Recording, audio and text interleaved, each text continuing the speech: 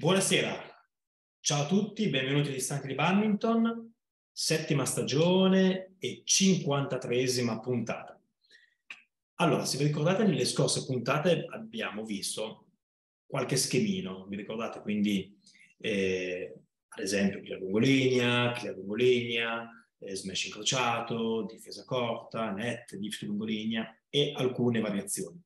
E abbiamo anche discusso su come rendere questi eh, esercizi eh, più performanti, ok? Quindi aggiungendo eh, i movimenti, aggiungendo gli sprint direzionali e via dicendo, e anche la, la tattica dei colpi usando traiettorie diverse o eh, nello stesso colpo in, in colpi differenti. Quindi, ad esempio, sul drop usare un drop pulito piuttosto che un drop tagliato, piuttosto che un drop tagliato, invece che uno smash, usare uno stick smash, ok? Quindi eh, quanto comunque l'esercizio chiuso possa poi essere eh, variato con differenti soluzioni tecniche.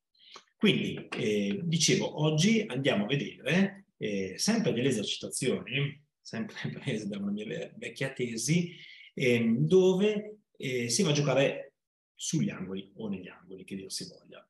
Allora, vi condivido subito il primo filmato. Qui dice con angoli esercizio 1. Ecco, se vedete, faccio un attimo pausa, ci sarà un giocatore eh, bianco-azzurro perché in quella tesi eh, avevamo la maglietta bianca-azzurra e un giocatore con la maglietta bianca e nera che eh, si muoverà su questi due angoli, mentre l'altro giocatore stazionerà su questo angolo. Quindi un giocatore, come c'è scritto qui, esegue clear lungolinea o doppio incrociato. Quindi questo giocatore bianco, qui nell'angolo, a fondo campo eh, di diritto, potrà giocare o in questo angolo o in questo angolo. Il giocatore nero dovrà ribattere sempre nell'angolo dove si trova il giocatore bianco azzurro. Ok, andiamo a vedere il video. Ovviamente la grafica ci dice che lo stesso esercizio posso eseguirlo dall'altro lato. Quindi il giocatore bianco-azzurro si posiziona sull'angolo a fondo campo di rovescio, ok, e gioca un clear eh, lungolinea o un drop incrociato. Perfetto, ecco l'esercizio. Ecco, vedete il giocatore bianco e nero e il giocatore bianco e mh, mm, azzurro, verde acqua. Mm? Quindi il giocatore in questo angolo, quello bianco-azzurro, potrà giocare o clear lungolinea qui oppure drop incrociato e il giocatore nero muovendosi su questa diagonale dovrà ribattere sempre in quell'angolo a fondo campo.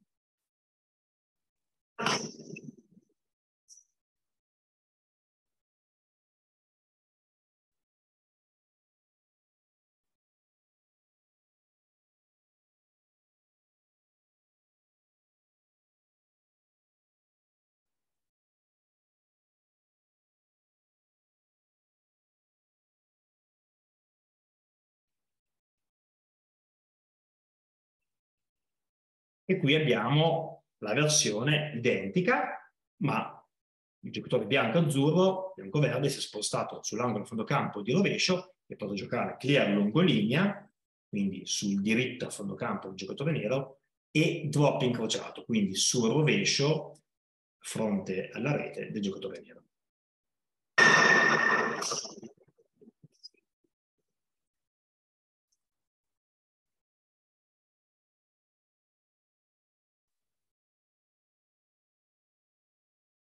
Ok, e questo è il primo video.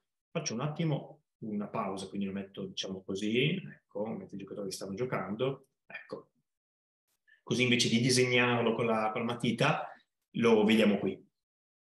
Ecco cos'è che possiamo innanzitutto dire su questo esercizio, che l'esercizio diventa molto più performante se il giocatore bianco, ok, dopo ogni colpo torna non al centro del campo, ok, ma al centro del campo sul suo lato del campo. Quindi ecco, immaginiamo qui dove vedete il mio mouse. Mm, okay? Quindi non serve che venga a cavallo della riga, perché comunque sta giocando sul lato, ma comunque vicino alla riga. Questo perché? Perché almeno farà un pochettino di movimento e, e ogni volta dal centro base, dal centro campo, andrà verso eh, l'angolo di fondo campo e potrà sviluppare anche differenti movimenti, quindi sarà una, sarebbe una buona idea che il coach gli richiedesse, ok, vai a fondo campo e colpisci volano a volte facendo, il, mon- il monitor di vita, il salto fuori, piuttosto che il salto a forbice, ok? Ovviamente in base a come il giocatore nero eh, risponde.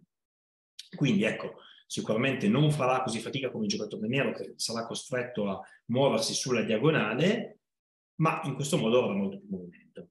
Il giocatore nero, ecco, questi esercizi che si giocano sugli angoli sono esercizi per chi deve coprire due angoli molto impegnativi e questo esercizio, vedete, su due angoli. Avremmo potuto proporre una variazione dove il giocatore bianco poteva giocare o avrebbe potuto giocare anche drop lungolinea, ok? Quindi giocare su uno, due e tre angoli, quindi l'angolo a fondo campo di rovescio del giocatore nero, l'angolo rete di rovescio e l'angolo rete di diritto, piuttosto che eh, l'angolo a fondo campo di rovescio, l'angolo a fondo campo di diritto e l'angolo a rete di diritto. Ok? Quindi comunque l'esercizio diventa un angolo contro tre invece che un angolo contro due. E dicevo, il giocatore nero eh, già giocando su due angoli è già molto faticoso perché comunque calcolate che c'è la diagonale da coprire, che è la distanza più lunga da coprire per un giocatore eh, di badminton. E diventa mi metto in monitor, diventa molto difficile per il giocatore nero eh, andare eh, a recuperare il volano se il giocatore bianco esegue finte, ok? Quindi se il clear è bello pulito, ok? Quindi ha la stessa accelerazione dall'inizio alla fine, è visibile, ma se un clear è eh, aspettato, quindi ritardato, e simula un drop e poi pam, viene accelerato, il giocatore nero verrà preso sicuramente di sorpresa, quindi è facile che poi a fondo campo vada di rovescio. Ed è proprio questo lo scopo di questo esercizio. Per il giocatore nero resistere, perché poi è un esercizio alla fine eh, di resistenza, ok? Per il giocatore bianco, eh, quindi quello nell'angolo, cercare di giocare con la tecnica, ok? In quel caso, in quell'angolo lì, eh, a fondo campo di diritto, che colpi avrebbe potuto giocare? Colpi può giocare un bel clear alto in linea, un clear ritardato, ok?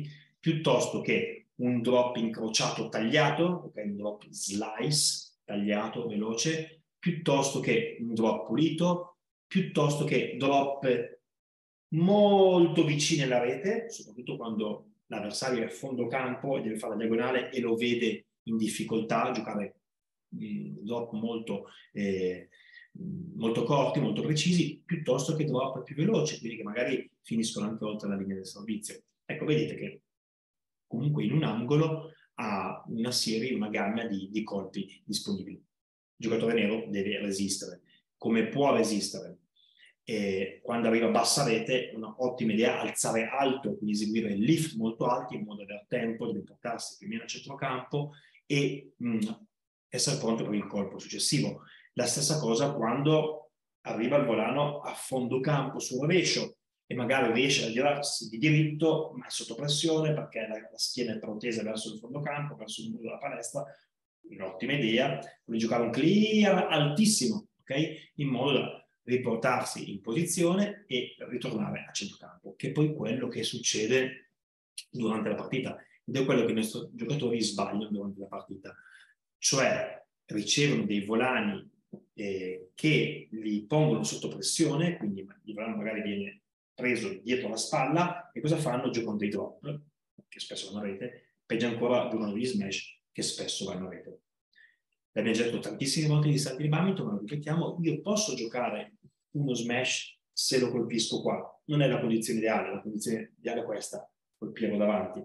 Ma posso giocare uno smash se lo colpisco qua, ma devo essere consapevole che sono sotto pressione e quindi devo giocare uno smash lungo, alto, profondo. In questo caso lo smash passerà sicuramente alla rete, ok? E io comunque leggermente un po' più di tempo per riportarmi in posizione. È chiaro che quando colpisco il volano dietro la schiena, un bel clear altissimo è il colpo che mi permette, che mi dà più tempo per ritornare al centro.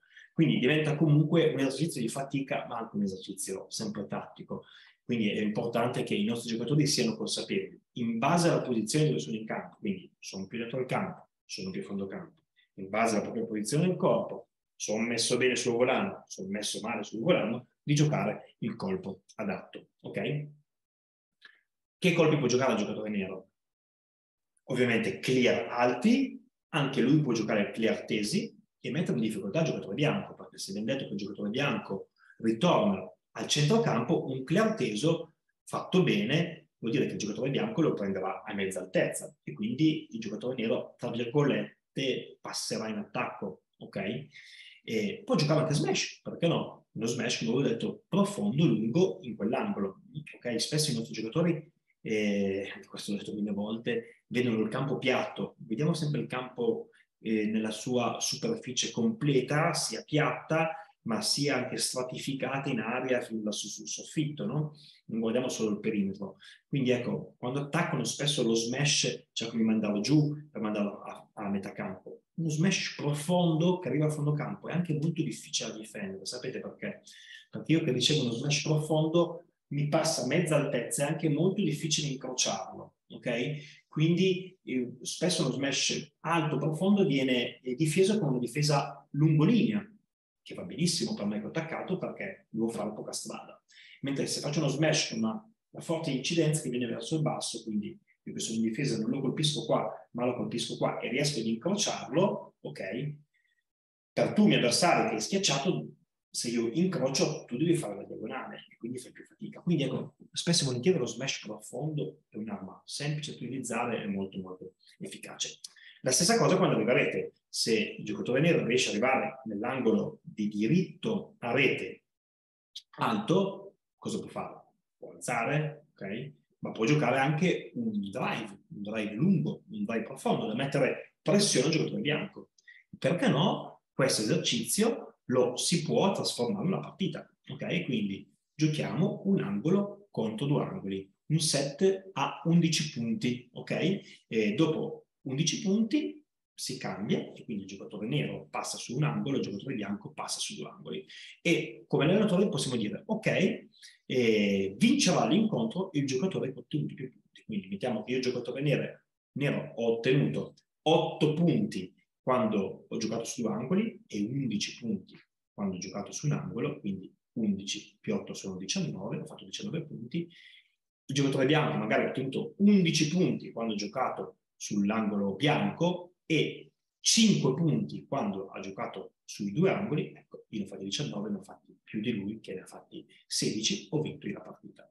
La sfida in questi esercizi, a mio avviso, è riuscire a vincere la partita quando si è nella condizione più difficile, cioè quando si è in difesa, ok? Soprattutto in questo esercizio dove si gioca sui due angoli. E la sfida è quella, perché se si riesce a vincere eh, in difesa, ecco, vuol dire che a parte che siamo resistenti, sicuramente siamo resilienti, ok? Sicuramente sappiamo anche difendere, difendere bene.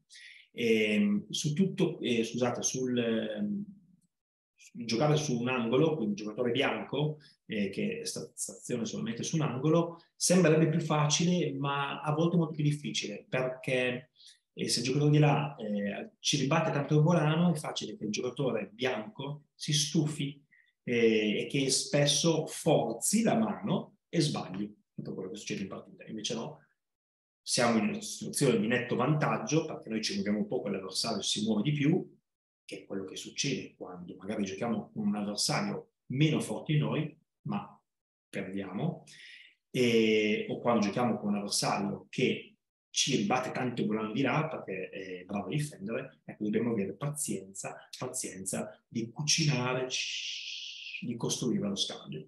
Quindi come possiamo costruire lo scambio? muovendo più volte il, giocatore sulla diagonale, giocando una varietà di colpi, giocando colpi fintati. Ok? E questo era il primo esercizio. Vi faccio vedere il secondo. Anche questo ci dice con angoli, esercizio 2. Ok? Un giocatore esegue clear incrociato o drop lungolinea. Ok? Quindi, a differenza di prima che clear era lungolinea il doppio incrociato, qui c'è il clear incrociato e il doppio lungolinea, quindi non è che c'è niente di trascendentale in quello che vi sto eh, facendo vedere, ovviamente si può giocare, come vedete, anche sull'altro lato del campo, ed ecco, cosa succede qua? Eh, eh, stop un attimo. Che avendo il clear incrociato, per il giocatore nero è molto facile intercettarlo se il clear non è profondo e laterale. Ecco qui, come vi dicevo prima, il giocatore nero, nonostante in difesa, può giocare un colpo d'attacco, quindi uno smash profondo, ok? E che sicuramente è più semplice giocare rispetto all'esercizio eh, di prima dove il clear arrivava lungo linea e tagliava fuori il giocatore nero. Ecco, ricordiamoci, come abbiamo detto tante volte negli stati di badminton, attenzione quando giochiamo badminton, quando facciamo gli esercizi, su come giochiamo il clear o il lift incrociati. Devono, in base alla posizione dell'avversario, avere una traiettoria che scavalchi l'avversario, altrimenti un colpo incrociato fatto male, vedete qui il giocatore nero, se avesse potuto giocare lungo linea, ecco, avrebbe fatto sicuramente punto, perché qui non c'è nessuno giocatore bianco ancora là, magari si sta muovendo avanti verso il centrocampo, ok? Quindi attenzione sempre ai colpi incrociati. Andiamo a vedere i due giocatori.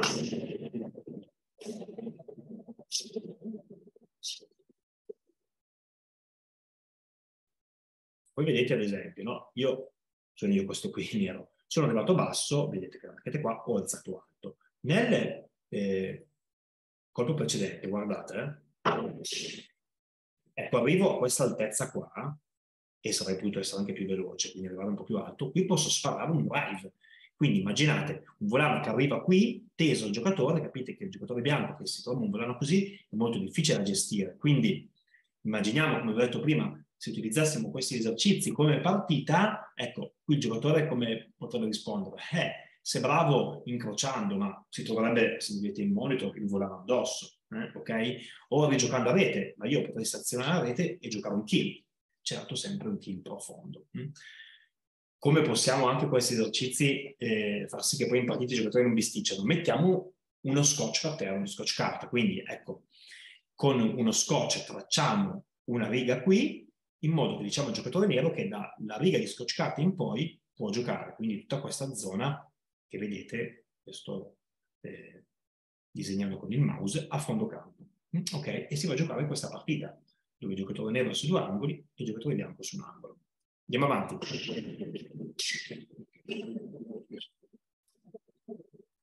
Adesso il giocatore bianco è passato sull'altro sull'altro angolo.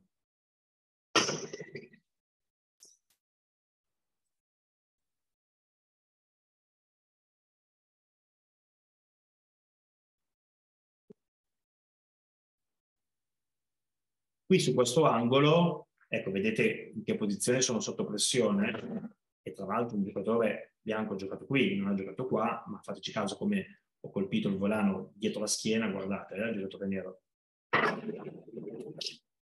Ok? Questa è una diagonale eh, difficile, ok? Perché comunque andare a coprire il rovescio sappiamo tutti che eh, è un po' il punto debole di tutti i giocatori e a livello principiante spesso giochiamo eh, sul rovescio del, dell'avversario, ok? Quindi è importante avere tutti quei modelli di movimento per riuscire ad andare a fondo campo.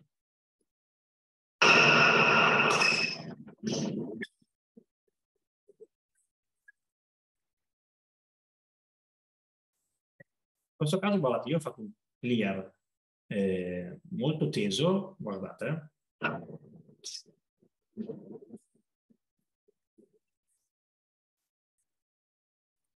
Vedete? È basso, il brano è qua, non è passato da sopra. E guardate il giocatore bianco come arriva.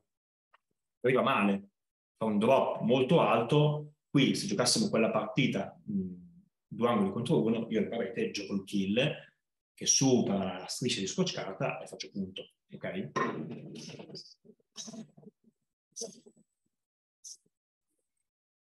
Ok a vederla così sembrava che il giocatore bianco fosse più bollito di me. Ma vi dico perché, perché quando, abbiamo, quando ho prodotto questa tesi abbiamo registrato non so quanti esercizi in un giorno, quindi probabilmente eravamo, eravamo anche stanchissimi.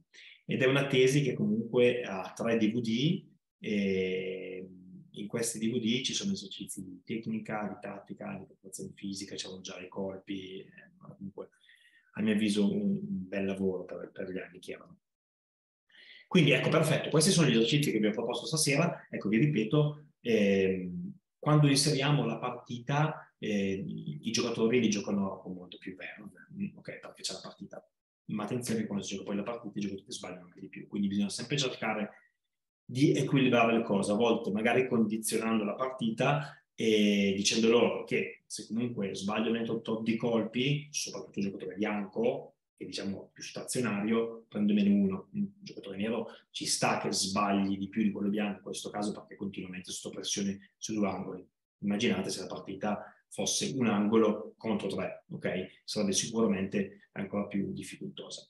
E quindi ecco, nulla vi vieta di eh, andare a proporre questi esercizi come partita, ma comunque proporli proprio come esercizi in sé, perché alla fine eh, sono esercizi da una parte dove sviluppi i colpi, perché gioca su un solo angolo, dall'altra parte dove si sviluppano anche dei colpi, ma sviluppo soprattutto i movimenti.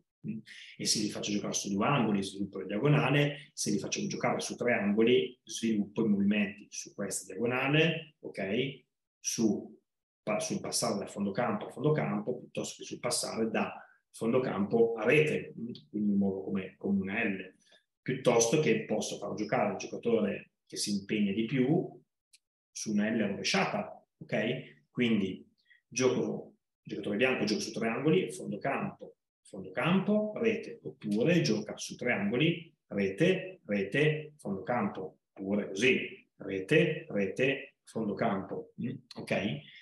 vedete che la cosa bella di questo sport è che ci dà un'opportunità di creare tantissimi, tantissimi esercizi, mm, ok?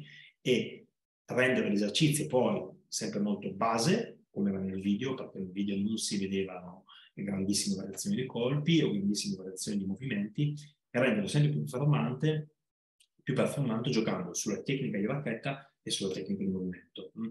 Ricordiamoci eh, tecniche di racchetta e tecniche di movimento fondamentali per giocare bene badminton. Tutto ciò condito anche dalla preparazione fisica, tutto ciò condito anche dalla preparazione mentale, tutto ciò condito anche dallo stile di vita. Mm, ok? Ma sicuramente se ho i primi due, posso avere anche tutti gli altri perfetti, ma non vado da nessuna parte. Quindi un giocatore con un gran fisico, se non sa, fisico intendo che è forte e resistente, ma se non sa muoversi, passi chassé, passi incrociati, split step neutrali, split step direzionali, split step difensivi, salto a forbice, salto fuori e via dicendo. E se non ha tutta la gamma di colpi, col fisico non ci fa niente nel bando, ok? Quindi le prime due componenti sono quelle essenziali, tecnica di racchetta e tecnica di movimento. Poi fisico, preparazione mentale e stile di vita, ok? E questo fa di un giocatore e un campione. Bene, eh, io ho terminato, come sempre, eh, abbastanza puntuale, sulle 21.27. Se avete qualche domanda e volete alzare la mano, eh, vi accendo il microfono. Se volete scriverla in domanda, risponde, eh, risposte, vi rispondo. Lascio qualche secondo. ma prima di chiudere vi dico questo, saranno eh, a breve online sul sito della federazione questi manuali. Adesso ve li condivido eh, un attimo. Un attimo riprendo. Eccoli qui. Allora, conosciamo tutti il manuale Vola con noi, ok? Con tutti i suoi colori, arancione, rosso, verde, celeste, viola, giallo, oro. Ma è terminato anche graficamente la direzione tecnica ha fatto anche il manuale tattico di badminton per i doppi, che si ispira al modello tattico danese. ok? E anche il manuale tattico di badminton per il singolare, sempre ispirato al modello tattico danese. ok? E sono, eh, è uno strumento, scusate, entrambi sono strumenti utilissimi per gli allenatori, mutuati dalla scuola danese che sappiamo essere assolutamente la numero uno al mondo sulla tattica, molto più che l'Asia, e, e, all'interno il direttore tecnico Lorenzo Pugliese ha inserito anche la scuola che ultimamente negli ultimi anni, 15 anni, ha avuto più successo al mondo, che è quella francese.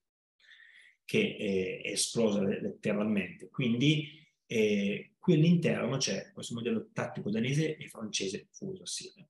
Lo troverete poi sul sito, mm, ok? Quindi eh, la federazione poi invierà la newsletter oppure troverete eh, sul sito della news dove scaricarlo. Ecco, anche questo è una risorsa in più per voi allenatori, per noi allenatori, per ehm, produrre giocatori sempre più performanti, eh, soprattutto che mh, giochino bene, che si muovono bene, che colpiscono bene e che eh, riuscendo a giocare bene a badminton lo possono fare poi per tantissimo tempo. Perché se gioco bene ho anche la soddisfazione di poter ehm, competere anche quando perdo, divertendomi, perché un conto è perdere non capirci niente cosa succede in campo, un colpo è, è perdere ma riuscire a tenere testa all'avversario, che ci dà comunque sempre soddisfazione. Ok, eh, Fabio Menna dice, puoi farvi vedere il primo schema? Lo faccio vedere velocemente. Un giocatore esegue clear lungolinea o drop incrociato. Quindi se vedi Fabio, il giocatore bianco esegue clear lungolinea o drop incrociato. Il giocatore nero rimane sempre nel lungo. Se il giocatore bianco si sposta qui, sarà lo stesso schema, gioca clear lungolinea e drop incrociato. Ok. E Sergio mi chiede, ciao Fabio, con lo stesso sistema Sergio Garzotto Valdosta. Ciao Fabio, con lo stesso sistema puoi giocare partite stabilendo zone limitate del campo come bersaglio dove fa punto? Assolutamente sì, assolutamente sì.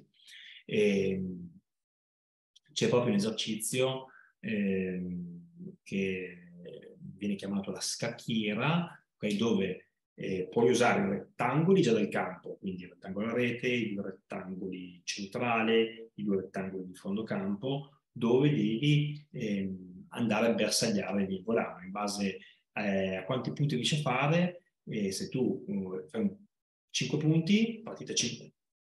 Te lo disegno da capo l'esercizio. Sergio, partita 5 punti, ok? Si gioca sul tuo campo.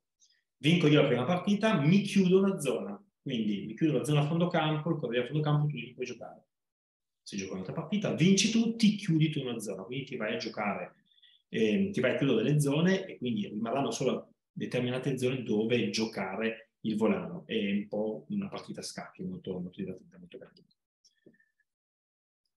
Perfetto, eh, vedo che non ci sono mani alzate. Allora, io, io, vi saluto, grazie perché anche stasera eravate 67, che è sempre un super numero a mio avviso. Ci vediamo fra due settimane, il 31 marzo, eh, marzo, in questo caso tre incontri distanti di badminton, è capitato così, e, ehm, con altri esercizi, continuiamo a aprile, continuiamo a maggio e poi facciamo la, la pausa estiva. Grazie ancora, vi ricordo che comunque per qualsiasi cosa eh, potete sempre trovarmi per telefono piuttosto che, che per email. Grazie a tutti, buona serata e buon weekend. Ciao ciao!